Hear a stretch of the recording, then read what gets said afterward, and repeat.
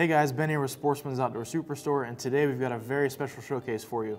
We have the brand new Taurus GX4. So we're gonna cover the specs, we're gonna go over some details, I'm gonna show you how to field strip it, and we're gonna take it to the range and shoot a couple rounds.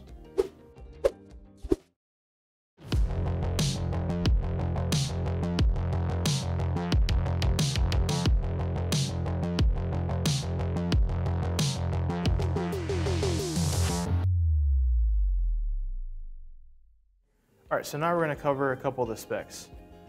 The barrel in this pistol is just over three inches, chambered in nine millimeter, and it also has a DLC coating. There's a visual loaded chamber indicator on the top of the barrel. For the sights on this pistol, we have a blacked out serrated rear and a single white dot up front. And this pistol is compatible with Glock sights. We have serrations in the front and in the back to help you manipulate the pistol easier we have the signature indexing recoil management pad, the flat face target trigger and trigger safety blade. The mag release is Teflon coated. This pistol has grip cuts here in the bottom of the frame to help you strip the magazine if it's stuck. This pistol also has an internal drop safety. And last but not least, we have the new Easy Takedown pin. The GX4 ships with two 11 round magazines. Okay, so now we're going to show you how to field strip this pistol. It's essentially the same process as a standard striker fire pistol, but they don't have an external takedown lever here. They've added a new design and they're calling it the takedown pin. So for the takedown process, you're going to need a flathead screwdriver. Essentially, it's the same process. You want to ensure the firearm's clear. You've got an empty magazine here and want to lock the slide to the rear. Check your chamber, make sure it's empty.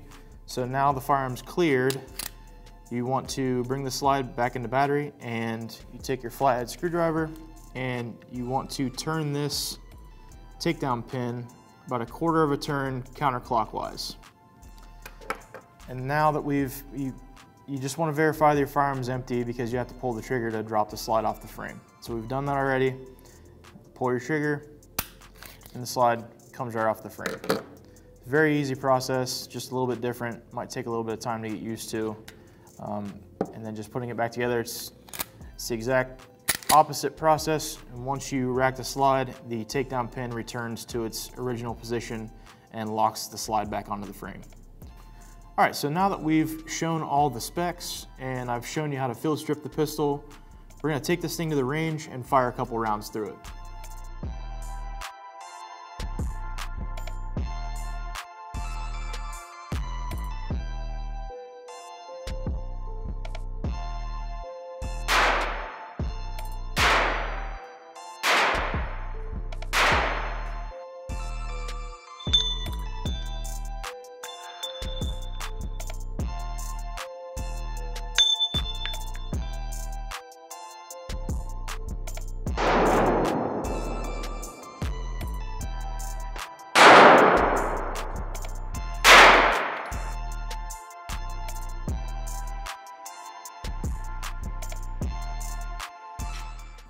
All right, guys, that wraps up our special showcase.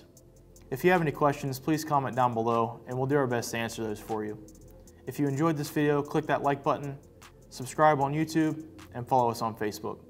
Thanks so much for watching, and we'll see you next time.